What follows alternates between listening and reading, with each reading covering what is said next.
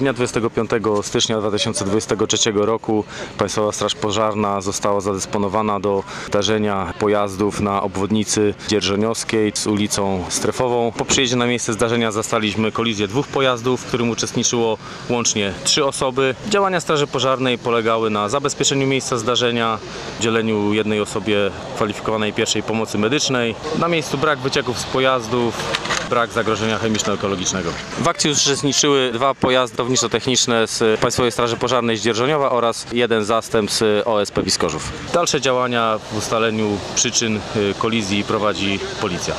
Podczas działań na miejscu ruch odbywał się wahadłowo.